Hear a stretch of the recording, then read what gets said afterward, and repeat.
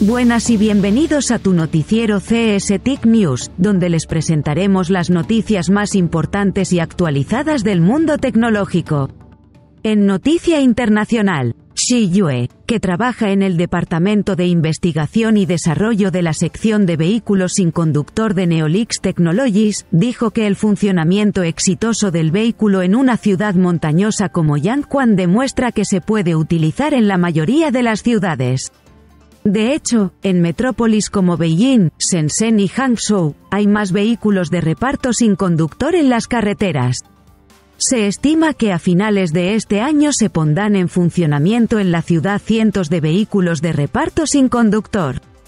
Sao Shinsui, vicepresidente de Neolix, destacó que los productos de la compañía ya han sido exportados a 12 países de Asia, Europa y otros continentes, y utilizados en comunidades locales y hospitales, entre otros lugares. La Corporación de Capital Internacional de China pronostica que el mercado de entregas sin conductor de China podría alcanzar los 170 mil millones de yuanes.